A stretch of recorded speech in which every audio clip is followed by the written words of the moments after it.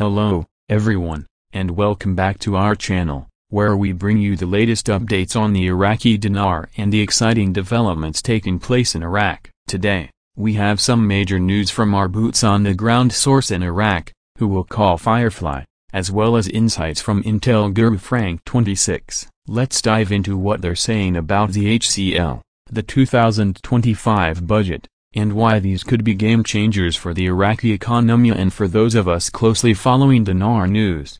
So, here's what Firefly shared with us directly from Iraq. He mentioned that Iraqi television has been highlighting some crucial points regarding the HCL, or hydrocarbon law. According to these updates, the government is setting ambitious goals to approve the HCL on or before the end of this year. Now, if you're new here, you might wonder, why is the HCL such a big deal? Simply put, this law would secure the proper distribution of oil revenues to the Iraqi people and could significantly impact Iraq's economy by ensuring fair revenue sharing. Many believe it's a foundational step for Iraq's financial independence and stability. But that's not all Firefly shared. He also noted that Iraqi media is talking about revealing the investment side of Iraq's budget before the year ends. Essentially, this means there's a growing focus on how the country plans to allocate and grow its resources. Think of it like setting a long-term strategy for Iraq's future. They're looking to attract investors,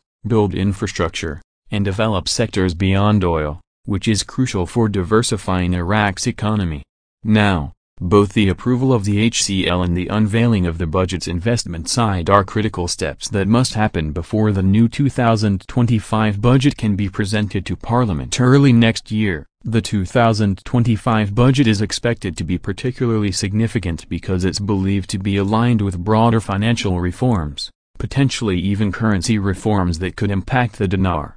Now let's turn to Frank 26's perspective. He's been an active voice in the dinar community providing insights and guiding us through the many moving parts of Iraqi politics and finance. Frank asked Firefly if he feels more confident now about what he's been sharing, especially when he says changes are happening this year and not just in the distant future. And Firefly's response? A resounding yes. He's more than confident and on board, and he's telling us that this progress is indeed being felt on the ground. Frank's confidence, combined with Firefly's first-hand reports, is encouraging news for everyone who's been waiting for signs of economic progress and reform in Iraq. The unfolding events this year could be pivotal, with the groundwork being laid for significant changes as early as 2025. So if you're watching Iraq closely, keep an eye on these end-of-year milestones, especially the HCL's approval and the budget's investment focus. This isn't just talk it's potentially a transformative moment.